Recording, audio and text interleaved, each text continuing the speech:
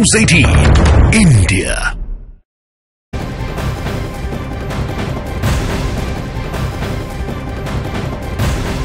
बिहार के बाद अब रुख करते हैं उत्तराखंड का। उत्तराखंड के हल्द्वानी में 8 फरवरी को हुई हिंसा मामले में पुलिस का ताबड़तोड़ एक्शन जारी।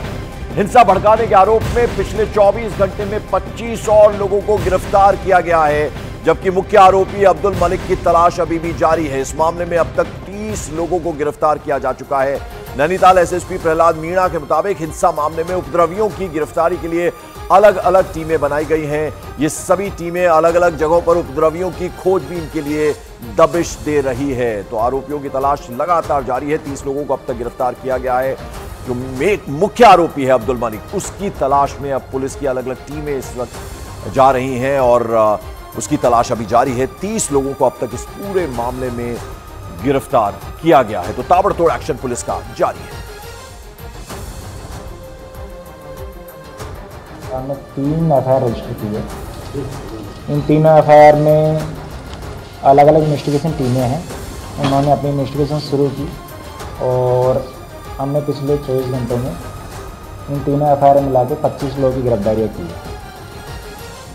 ये जो लोग हैं, इसमें जो थाने पे पथराव हुआ था। उस एफआईआर में बारह लोग हैं और जो बाकी छः लोग हैं, वो एक हमारे थाने की जो गाड़ी जलाई थी, दूसरे थाने की, उसका एफआईआर में है और सात लोग जो हैं, नगर निगम की तरफ़ से जो एफआईआर दी गई थी, उसमें गिरफ़्तार किए गए थे। हल्द्वानी पुलिस के मुताबिक 8 फरवरी को बनभूलपुरा में हुई हिंसा मामले में दर्ज अलग अलग एफआईआर के तहत 25 आरोपियों को गिरफ़्तार किया गया है। जिनमें आपको यहाँ बता दें कि 18 आरोपियों की गिरफ्तारी पुलिस थाने पर पथराव और गाड़ियों में आगजनी के मामले हुई है, जबकि सात आरोपियों को नगर निगम की शिकायत के आधार पर गिरफ़्तार किया गया है, जिनके पास सात देसी कट्टे और पुलिस थाने से लूटे ज़िंदा कारतूस भी बरामद किए गए यानी यह असला इनसे बरामद हुआ है। इसके साथ ही बनभूलपुरा में सर्च ऑपरेशन भी जारी है। इलाके से कितने लोग गायब हुए हैं? उनकी लिस्ट भी बाकायदा तैयार की जा रही है। तो ताबड़तोड़ एक्शन पुलिस का लगातार जारी। तीस लोगों की गिरफ्तारी हुई है। अब्दुल मलिक, जो मुख्य आरोपी है, उसकी तलाश भी अब तेज कर दी गई है। तो ये पूरा अभी तक एक्शन जो है पुलिस की तरफ़ से लिया गया है। ताबड़तोड़ एक्शन पुलिस का जारी है। तीस लोगों की गिरफ्तारी हो चुकी है। जो अब्दुल मलिक, मुख्य आरोपी है, उसकी अभी गिरफ्तारी होगी। इस बीच आपको बता दें, केंद्रीय मंत्री अजय भट्ट ने और दीपक बिष्ट के पास जरा चलते हैं। दीपक बिष्ट हमारे सहयोगी इस वक्त हमारे साथ है। दीपक, हम देख रहे हैं कि किस तरह से पुलिस का लगातार एक्शन जारी है। तीस लोगों की गिरफ्तारी हो चुकी है। अब्दुल मलिक की तलाश अभी जारी है।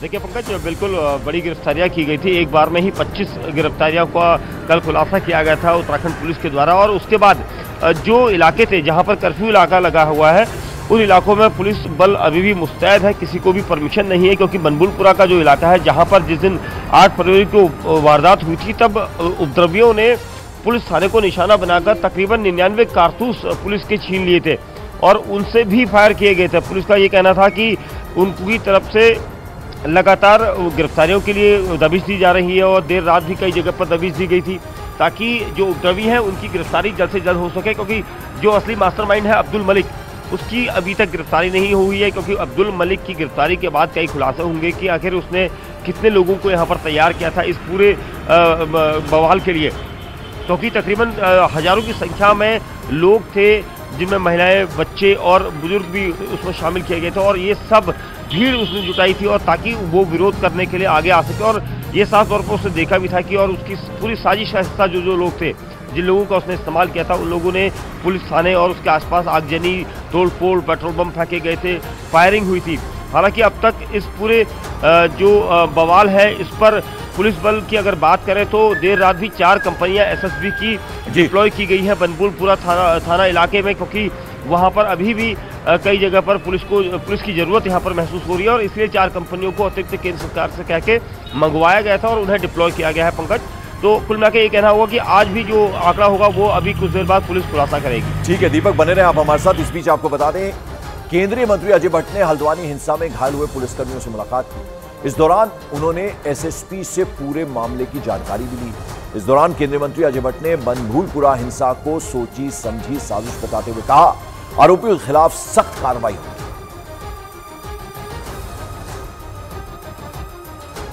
मेरी ज़मीन पर अगर आप आएँगे तो मैं तो बचाव करूँगा। सरकार की ज़मीन कोई घेरेगा तो सरकार तो उसे एडमिनिस्ट्रेशन तो उसको अपना लेना चाहेगा ही चाहेगा।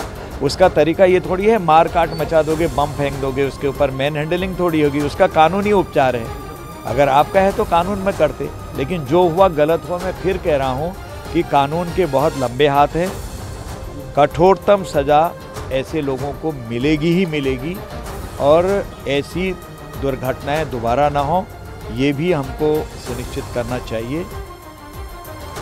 तो जो भी दोषी है, उसके खिलाफ कड़ी से कड़ी कार्रवाई होगी अजय भट्ट केंद्रीय मंत्री का यह कहना है। इस बीच उत्तराखंड कांग्रेस के नेताओं ने हल्द्वानी हिंसा मामले में सीएम पुष्कर सिंह धामी से मुलाकात की और निष्पक्ष जाँच की उन्होंने मांग की विधानसभा में नेता प्रतिपक्ष यशपाल आर्य के नेतृत्व में कांग्रेस प्रतिनिधिमंडल ने मुख्यमंत्री से बनभूलपुरा मामले में चर्चा की और इस दौरान सीएम ने प्रतिनिधिमंडल से कहा कि राज्य सरकार ने इस पूरे की पूरे घटना को गंभीरता से लेते हुए हिंसा प्रभावित इलाके में कानून व्यवस्था बनाए रखने के लिए कड़े कदम उठा लिए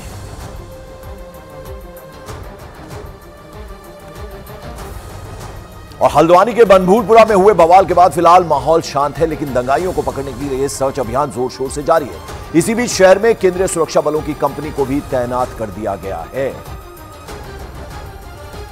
हल्द्वानी में 8 फरवरी को उपद्रव के बाद लगभग दस हज़ार के आसपास पुलिस बल और पैरामिलिट्री फोर्स को हल्द्वानी में डिप्लॉय किया गया था। लेकिन आज अचानक से चार कंपनियाँ और यहाँ पर हल्द्वानी में पहुँची। आप देख सकते हैं एसएसबी की ये एक कंपनी यहाँ पर पहुँची है। इसके अलावा तीन कंपनियों को और यहाँ पर लाया जाएगा, ये कहा जा रहा है, और ये देर रात तक यहाँ पर पहुंचेंगी। लेकिन अचानक से चार कंपनियों को यहाँ मंगाने की वजह क्या है, इसके बारे में कोई अभी तक यहाँ पर किस तरह का साफ़ तौर पर कहा नहीं जा सकता। लेकिन ये माना जा रहा है कि क्योंकि जिस तरह से एसएसबी की कंपनी यहाँ पहुँची है, उसके बाद ये ज़रूर हो सकता है कि जो लोगों की गिरफ्तारी है, उनकी तादाद बढ़ सकती है या फिर लॉ एंड ऑर्डर की स्थिति को संभालने के लिए। यहाँ पर जो प्रशासन है, वो कोशिश कर रहा है कि हालात जो है, वो सामान्य बनाने के लिए अतिरिक्त बल की ज़रूरत होती है और इसीलिए इनको यहाँ पर मंगाया गया है, बुलाया गया है। उधर हल्द्वानी हिंसा मामले में सियासी बयानबाजी भी जारी है। समाजवादी पार्टी के सांसद एस टी हसन ने हल्द्वानी में हुई हिंसा पर कहा कि पाप का घड़ा भर गया था, इसलिए यह ब्लास्ट हुआ है। तो वहीं आरएसएस नेता इंद्रेश कुमार ने हिंसा की निंदा उत्तराखंड के अंदर अब से नहीं छः महीने से छोटी छोटी ऐसी चीज़ें हो रही थी जिससे कि लोगों में रोष था। मज़ारात को डिमोलिश किया जा रहा था, दरगाहों को तोड़ा जा रहा था। इस, ये कह के कि जंगल में है दो दो सौ साल पुराने मज़ारों को तोड़ दिया।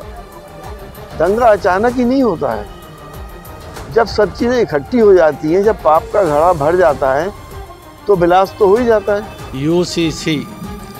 किसी की भी मजहबी है पहचान, किसी की भी जातीय पहचान, किसी की भी भाषीय पहचान, किसी की भी भौगोलिक पहचान या उसकी तालीम, तरक्की की पहचान के विरुद्ध नहीं है, सबका संरक्षण करता है, किसी को खतरा नहीं है। एक बार फिर रुक करते हैं दीपक बिष्ट का, मेरे सहयोगी का। दीपक, अब पुलिस जो है उसका ताबड़तोड़ एक्शन जारी है, लेकिन चार दिन हो गए इस हिंसा को हुए। इस वक्त किस तरह का माहौल? देखिए, अगर चार दिन की आज पांचवा दिन कहेंगे पंकज, क्योंकि आठ फरवरी की रात को नौ बजे ही कर्फ्यू घोषित किया गया था और आज पाँचवा दिन है। और मैं आज जिस लोकेशन पर हूँ, ये अंबेडकर नगर इलाका है। यहाँ से आगे जाकर जो यहाँ पर आवाजाही दिख रही है, ये सिर्फ़ अंबेडकर नगर की है, लेकिन अंदर की तरफ़ जाते ही जो कर्फ्यू की लाइन है, यहाँ से शुरू हो जाती है। और पुलिस बल यहाँ पर आपको मुस्तैद दिखाई देगा, क्योंकि 24 घंटे यहाँ पर उत्तराखंड पुलिस पैरामिलिट्री फोर्सेस के जवान हैं। और वहीं साथ ही, आज हल्द्वानी शहर में जो बनभुलपुरा थाना इलाके के दूसरे इलाके हैं उसको छोड़कर सिर्फ़ बनभुलपुरा थाना इलाके में ही इस वक्त इंटरनेट की सेवा बहाल नहीं की गई है। बाकी दूसरे इलाकों में आप आवाजाही देख सकते हैं। आज से यहाँ पर क्योंकि सोमवार का दिन है तो स्कूल बसें भी यहाँ पर आपको दिखाई देंगी।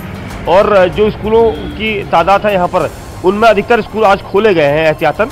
और वहीं साथ ही ट्रैफ़िक मूवमेंट शुरू हुई है, लेकिन पूरी तरह से लोग अभी हालात सामान्य होने का इंतज़ार भी कर रहे हैं और पुलिस भी कोशिश ये कर रही है कि हालात सामान्य जल्दी हो, क्योंकि आज पांचवा दिन है और हल्द्वानी जिस तरह से शांत रहा है और इस इन पाँच दिनों में जिस तरह से बवाल कटा था और उसके हिसाब से ये कहा बिल्कुल तो पुलिस ने अब स्थिति को पूरी तरह से नियंत्रण में कर लिया है और जैसा कि दीपक बिष्ट बता रहे हैं हमारे सहयोगी की बनभूलपुरा इलाका जो है वहाँ पर अभी इंटरनेट सेवा बहाल नहीं कर दी गई है लेकिन अब शांति जो है वो सड़कों पर भी नज़र आ रही है।